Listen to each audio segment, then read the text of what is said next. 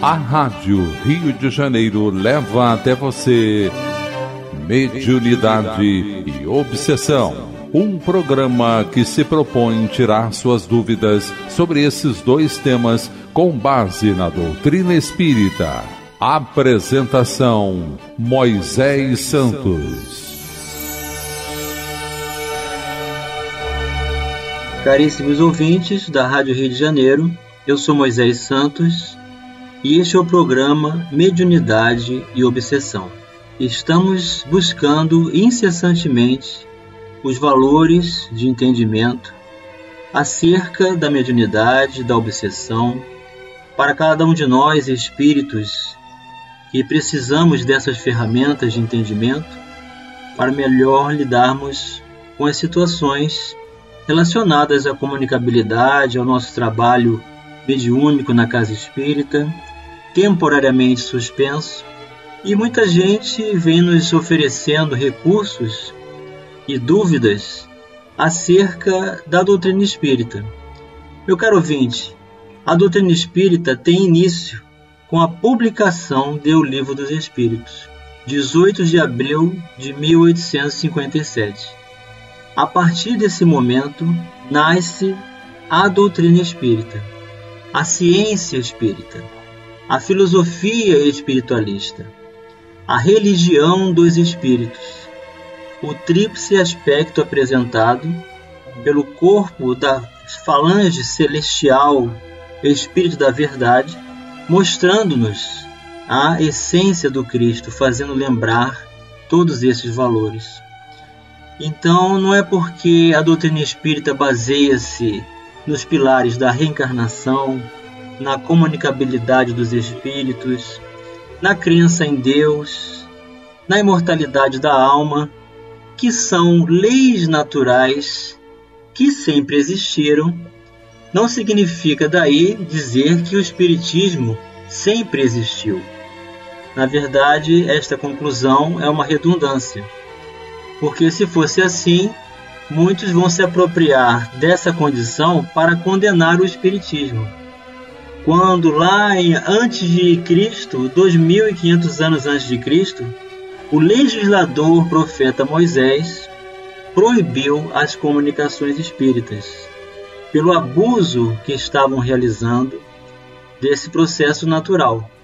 Mas o próprio Moisés, no Monte Tabor, através dos recursos fluídicos oferecidos pelo Cristo na sua transfiguração, quando levou Pedro, Tiago e João para este monte, uma reunião mediúnica ao ar livre, o próprio Moisés se comunica, o que significa dizer que se um legislador proíbe uma faculdade natural e depois ele mesmo faz uso dessa comunicação, é que esses valores precisam ser reconsiderados. Assim nós temos a doutrina para nos apoiar. Mas no que a doutrina realmente se apoia para que haja então esse entendimento? Vamos esclarecer esse conceito. Esclarecendo conceitos. Do Evangelho segundo o Espiritismo, capítulo 1, Não vim destruir a lei, o item 10 o Espiritismo é de ordem divina, pois que se assenta nas próprias leis da natureza. E estáis certos de que tudo que é de ordem divina tem grande e útil objetivo. O vosso mundo se perdia. A ciência, desenvolvida à custa do que é de ordem moral, mas conduzindo-vos ao bem estar material redundava em proveito do espírito das trevas. Como sabeis, cristãos, o coração e o amor têm de caminhar unidos à ciência. O reino do Cristo, há passados que são 18 séculos, e já sabemos, não é, meu caro ouvinte, que temos mais de 21 séculos passado o advento do Cristo. E apesar do sangue de tantos mártires, ainda não veio. Cristãos, voltai para o Mestre que vos quer salvar. Não é fácil aquele que crê e ama. O amor enche de inefável alegria. Sim, meus filhos, o mundo está abalado. os bons espíritos vos dizem sobejamente: Dobrai-vos a rajada que anuncia a tempestade, a fim de não serdes derribados, isto é, preparai-vos e não imiteis as virgens loucas que foram apanhadas das desprevenidas à chegada do esposo. Então temos aqui um fragmento da mensagem de Fenelon, Instruções dos Espíritos, nesse item, onde ele vem deixar bem claro onde a doutrina espírita se apoia nas leis da natureza. Então, meu caro ouvinte, as leis da natureza sempre existiram. Elas sempre estiveram de relação com a criação. Então, nós vamos ver que a faculdade mediúnica sempre existiu. A comunicabilidade com os espíritos sempre existiram e pertence a todas as religiões. Os fenômenos naturais, os fenômenos de cura, os sonhos, os desdobramentos, tudo que se refere ao espírito está baseado nas leis da natureza. Então não podemos fazer essa confusão e afirmar que o espiritismo sempre existiu. Não, o espiritismo passa a existir, mais uma vez, repetimos, com a publicação do Livro dos Espíritos. A partir daí, ela é considerada como ciência, porque temos o codificador Hippolyte Leon Denisard Rivaio, o Allan Kardec, a buscar nos fenômenos das comunicações espirituais, atraído pelo fator das mesas girantes, tão comum em sua época, mas ele não viu as mesas girarem somente. Não se impressionou com os fenômenos, não os atribuiu como condições sobrenaturais. Ele viu além dos fenômenos. Havia todo um conjunto de inteligências para apresentar a doutrina dos espíritos pelos próprios habitantes do mundo espiritual. Então, a partir daí, nós temos a, o conjunto da lembrança da essência do Cristo, voltando à Terra. O Espiritismo é o cristianismo redivivo na Terra. É Jesus voltando ao coração do homem, apoiado nas leis da natureza. E agora, com a instrumentação desses valores, nós podemos entender melhor a mediunidade, a obsessão, o papel do cristão, o desenvolvimento do sentimento, que é o que Fênelon está orientando a todos nós, desenvolvendo o amor, pois aquele que crê e ama torna-se tudo mais fácil.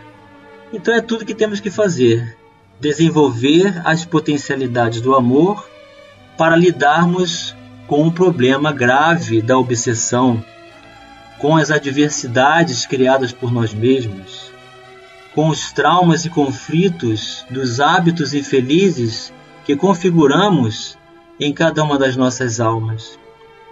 Então, busquemos na doutrina espírita, nos valores do Evangelho de Jesus, esses recursos, porque os Espíritos estão aí para nos oferecer todos esses horizontes de amor e de luz. E também a médium Ivone do Amaral Pereira, no seu livro Recordações da Mediunidade, vem nos apresentar todos esses recursos. É o capítulo 10 desse livro, sob o título O Complexo Obsessão, onde foi extraído do Livro dos Espíritos a pergunta 473. Allan Kardec fez a pergunta: Pode um espírito tomar temporariamente o invólucro corporal de uma pessoa viva, isto é, introduzir-se num corpo animado e obrar em lugar do outro que se acha encarnado nesse corpo? Então veja que as perguntas de Allan Kardec têm sempre uma base de experiência. Pelo que Kardec já observou, existe esse mecanismo, essa enfermidade grave que é o processo obsessivo. O espírito tomando as funções motoras do encarnado e aparentando que está dentro desse corpo. É o que Kardec quer saber. E os espíritos respondem: O espírito não entra em um corpo como entras numa casa. Identifica-se com um espírito encarnado. cujos defeitos e qualidades sejam os mesmos que os seus, a fim de obrar conjuntamente com ele. Mas o encarnado é sempre quem atua, conforme quer, sobre a matéria de que se acha revestido. Um espírito não pode substituir-se ao que está encarnado. Por isso que esse terá que permanecer ligado ao seu corpo, até o termo fixado para sua existência material. Então vemos aqui claramente que a ação é com o perispírito do encarnado. E o encarnado, o seu espírito, continua em ação com a matéria do seu corpo. Não se desvencilha dele. Então o espírito desencarnado não entra no corpo, mas passa a entrar em simbiose, em comunhão com essa continuidade da conexão do espírito encarnado com seu próprio corpo, fazendo então dessas ações o seu domínio. Mas porque existem similaridades, defeitos e qualidades que são os mesmos, ou seja, um espírito se apoia no outro para locupletarem-se. Um se apoia nos hábitos e nos interesses em comum de ambos e passam a fluir dos mesmos atos em conjunto. Eis a resposta que os Espíritos nos dá, mostrando então que a responsabilidade dessas conexões vem de um longo curso do passado. O espírito que chamamos obsessor, na verdade, é alguém com quem comungamos da intimidade alguém com quem estabelecemos é, vínculo e convivência íntima muito grande. É alguém que participou da nossa vida. É alguém que esteve presente nas nossas escolhas, nos nossos interesses.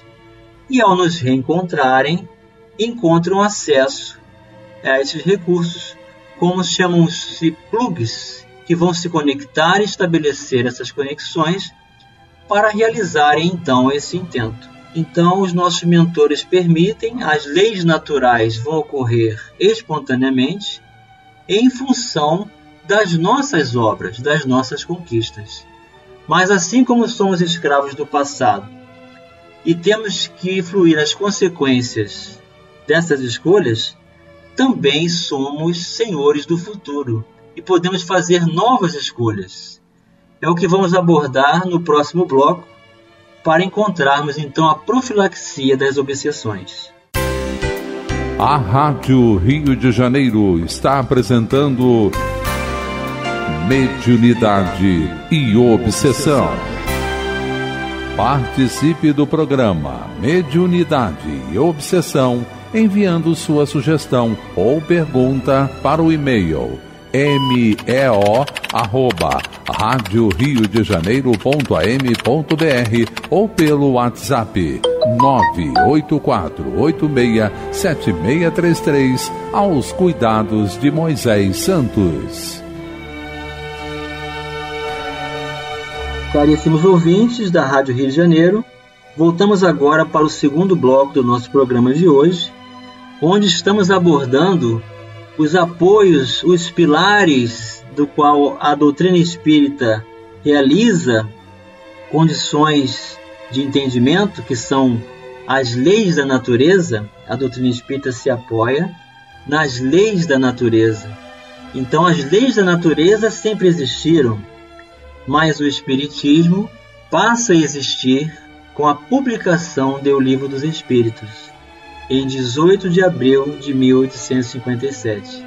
Não façamos mais essa confusão e vamos tirar da doutrina espírita, dessa ciência nova, os novos vocábulos oferecidos por Allan Kardec para estabelecermos o entendimento dessas relações naturais, da mediunidade, da comunicabilidade com os espíritos, da reencarnação, da imortalidade da alma, da vida que prossegue mais além e nos mostra a responsabilidade que todos temos na construção da nossa própria felicidade.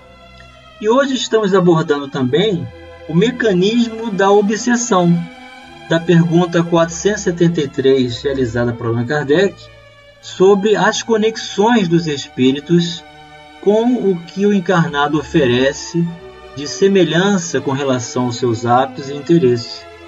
E no livro Recordações da Mediunidade, Ivone do Amaral Pereira vem nos oferecer esse entendimento. Ela escreve um dos mais belos estudos que o Espiritismo faculta aos seus adeptos é certamente aquele a que os casos de obsessão nos arrastam. Temos para nós que esse difícil aprendizado, essa importante ciência de averiguar obsessões, obsessores e obsidiados, deveria constituir especialidade entre os praticantes do Espiritismo, isto é, médiuns, presidentes de mesa, médiuns denominados passistas, etc.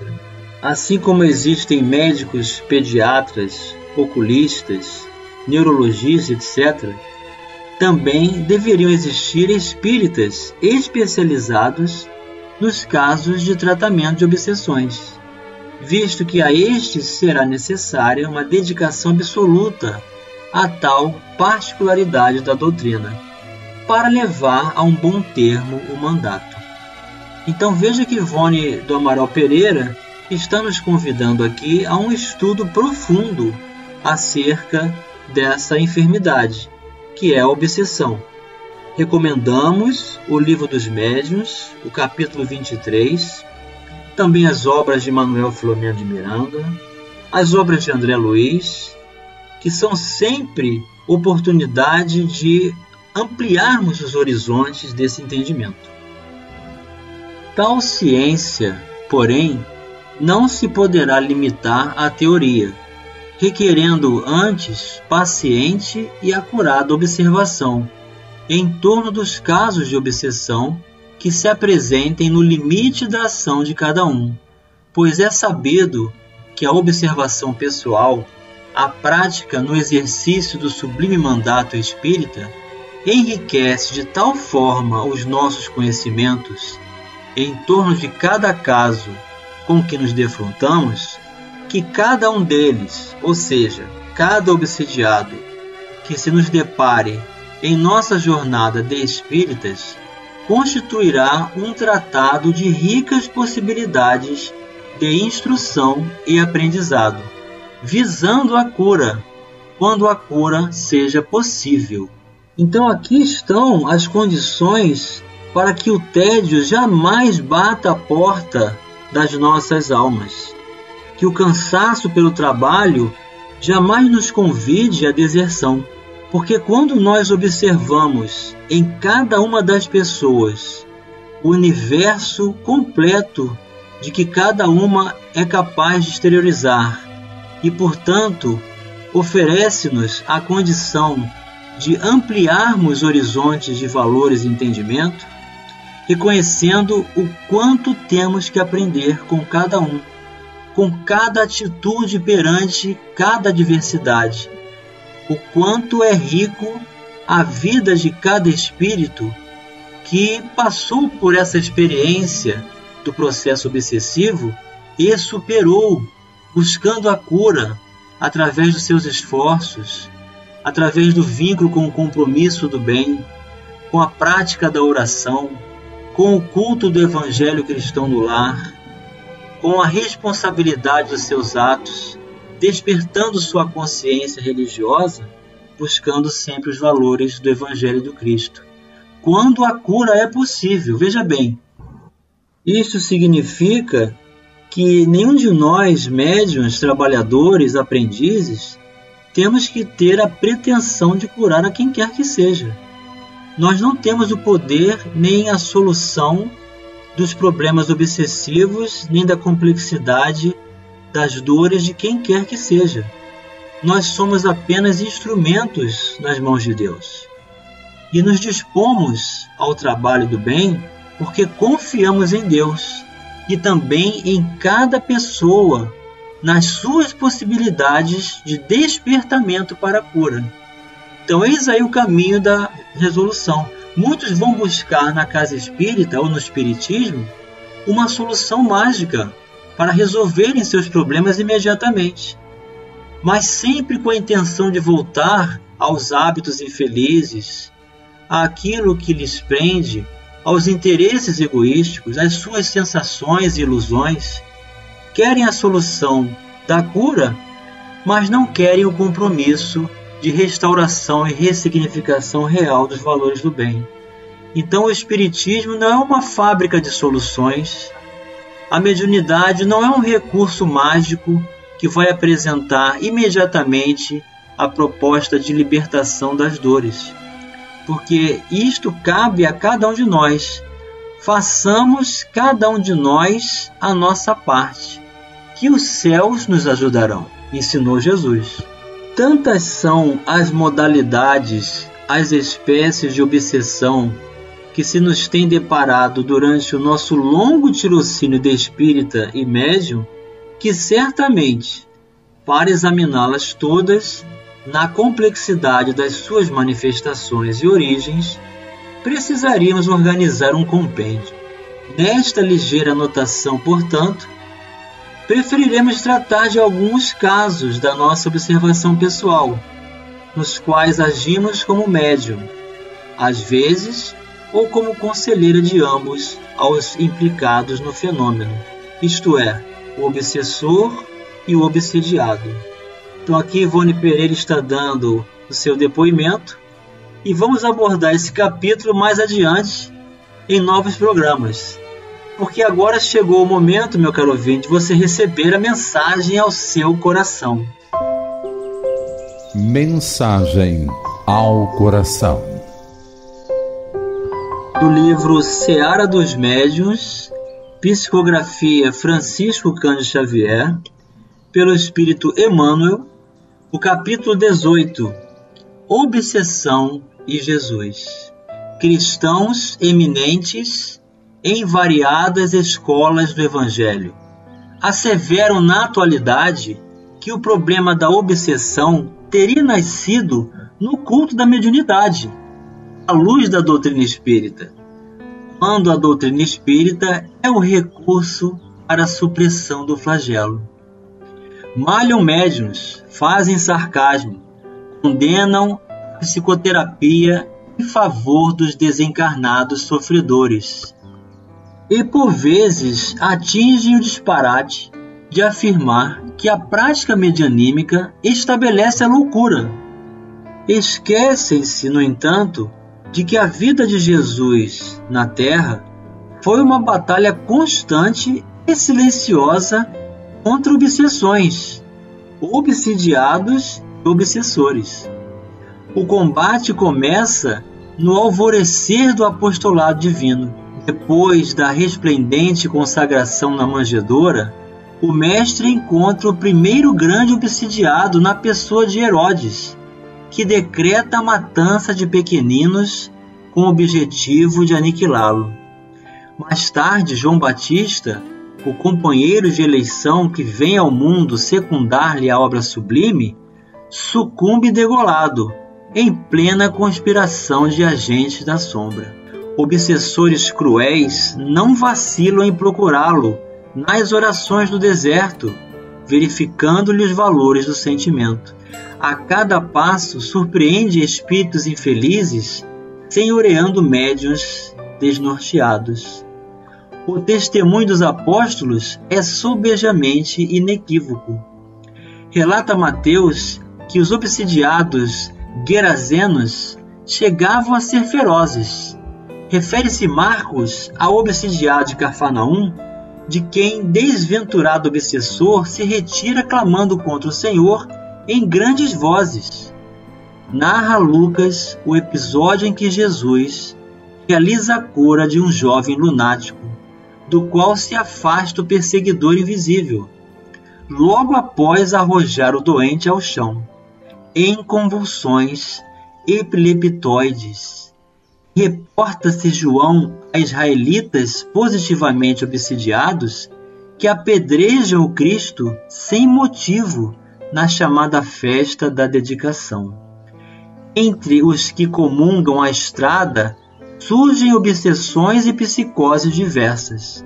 Maria de Magdala, que se faria mensageira da ressurreição, fora vítima de entidades perversas. Pedro sofria de obsessão periódica. Judas era enseguecido em obsessão fulminante. Caifás mostrava-se paranoico.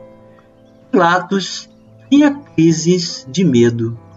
No dia da crucificação, vemos o Senhor rodeado por obsessões de todos os tipos, a ponto de ser considerado pela multidão inferior a Barrabás, malfeitor e obsessor vulgar.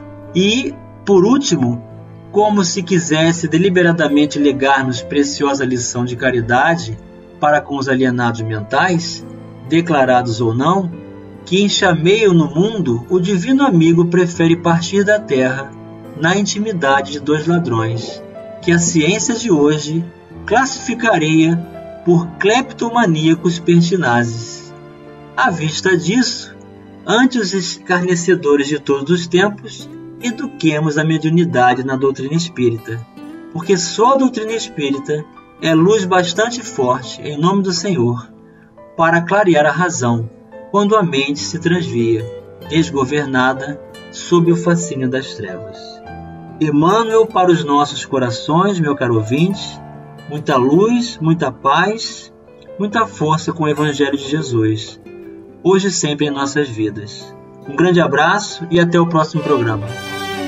A Rádio Rio de Janeiro apresentou Mediunidade e Obsessão.